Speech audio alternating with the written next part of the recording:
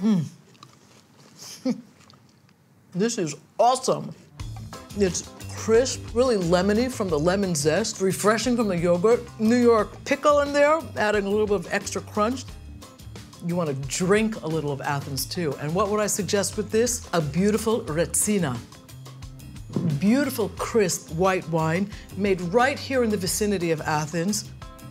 You see, Gian, come to Athens, explore the city, and if you can't do that, make this at home and taste Athens at your own Greek table.